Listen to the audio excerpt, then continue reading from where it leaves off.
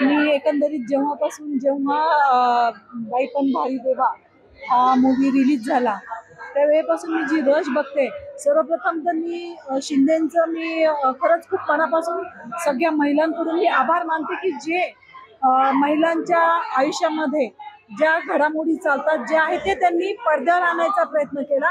आणि मला सांगायला आनंद हे वाटतो की मी ठरवलं होतं मी जवळजवळ मी पंधरा दिवस मी मुंबईत होते. पण तरीही मी मुंबईत हा मूवी बघितला नाही. मी ठरवलं होतं मी माझ्या जालनाच्या महिलांसोबत मी हा मूवी बघणार आहे.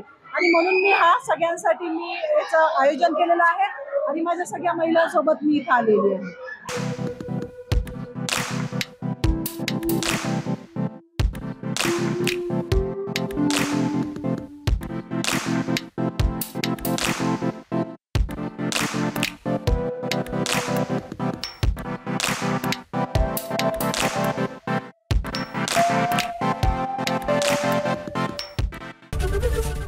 एबीपी माझा. उघडा डोळे बघा नीट.